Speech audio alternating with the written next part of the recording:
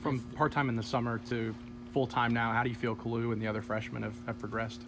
Man, they've all gotten a lot better. Um, you know, in every aspect. Uh, Mo's probably a, a most well-rounded basketball player in terms of skill set. He can do a little bit of everything. Um, but Duncan's gotten better. He needs to get a little bit more confident in his jump shot. Uh, Kentravious has gotten more comfortable just playing, just just getting up and down and, and using his body. Uh, Yor was as impressive of a player as there was on the court at Wichita. Um, and I'm talking both teams. And, uh, and, and Ice has had great moments. Yeah, he hasn't been as good lately, but that's part of it. You know, he's he's he's hit. I wouldn't say he's hit a wall. It's too early for that, but he's found some struggle here uh, physically, just the taxing of practice every day and the grind of it. And obviously, we're down a couple guys on the perimeter, so there's more load on him at this point.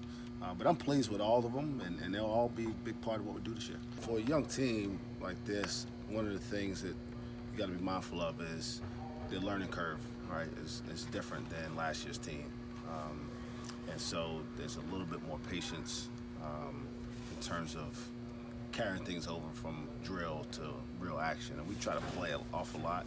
I probably have played more live basketball with this team than I have with any other team I've been associated with this early.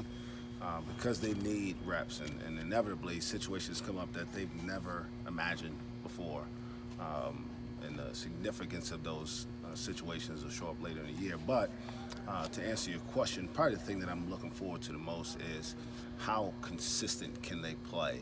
Not not how well necessarily, but how consistent can they be in terms of their effort and focus? Uh, it's really hard to get young people to understand that because just not ha hasn't been something that they that's been really important to him so far.